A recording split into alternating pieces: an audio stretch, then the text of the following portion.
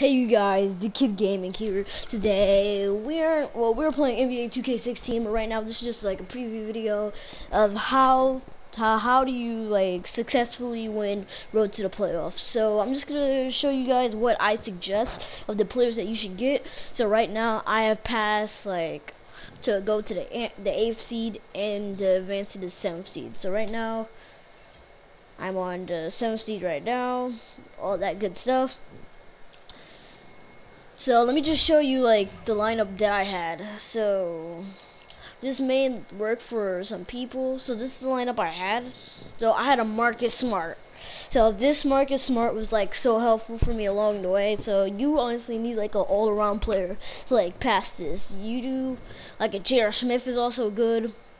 So someone who can shoot threes in the clutch.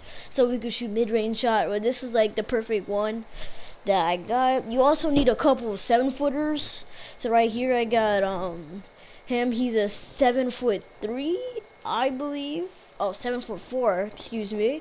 And then I have another seven footer right here. He's like seven two, no seven three. Okay, so they're like strong, you know, seven three. So I got two seven footers. So there's like rebounds are never going away. Like they're oh, they're staying off the bench and on the bench. So here we have a couple of three-point shooters. I have um like people who are like open three-point shooters.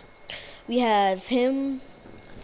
We have Sasha Wulachik, I believe. I apologize if I get your name incorrectly. Hedo Turkoglu.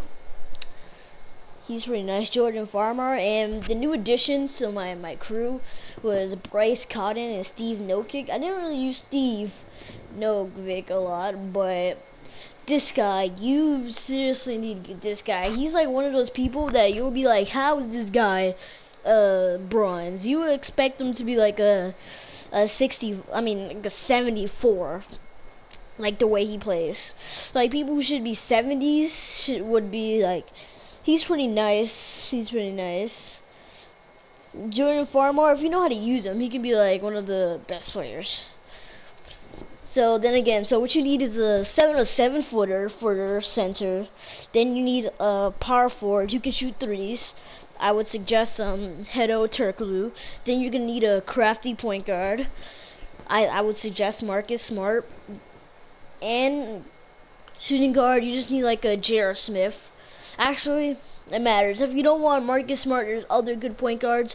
But if you seriously, if you're in need for a shooter, I would suggest J.R. Smith or Iman Shumpert. He, they are silvers, but they play like 90s what they're shooting. So you should seriously like go and get them.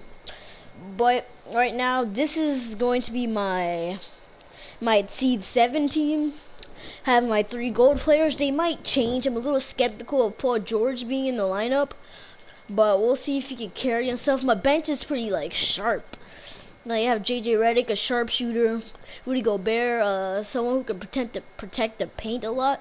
We can work on his speed. I don't think we have any shoes for that, or do we? Stamina, so anything that can help him. But Kobe has the pass accuracy. You serious?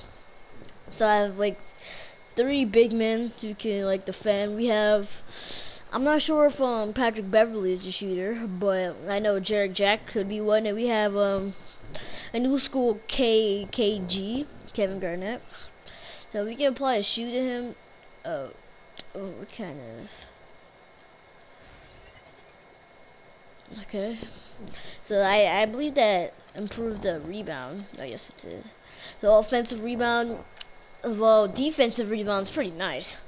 You have Aaron Gordon, so pretty much yeah guys. So pretty much that's it. I I haven't really started on my my career yet, but I just been focusing on my team and all that good stuff. I'm, I'm really glad that we can do this kind of stuff. So be sure to like, subscribe, and definitely leave a comment. My name is Akita Gaming, and all you have to do is stay awesome.